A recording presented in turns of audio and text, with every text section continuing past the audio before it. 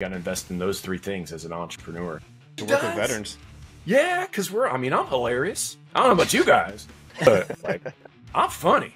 So if she's got to deal with me, she just had a good day. Entrepreneurs, like, you get this opportunity to build that environment. You can be toxic and you can be about the money, but it ain't gonna work for long. And you can do that and sell the business to someone who's gonna be good to the people. But yeah, yourself and then your team, right? And then the thing that people, everyone has a hard time with, letting other people claim your wins, man.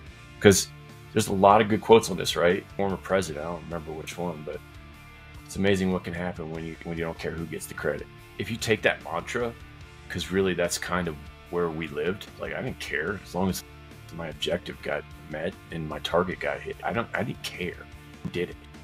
At the end of the day, um, no one's writing books on the stuff that I'm doing. You know what I mean?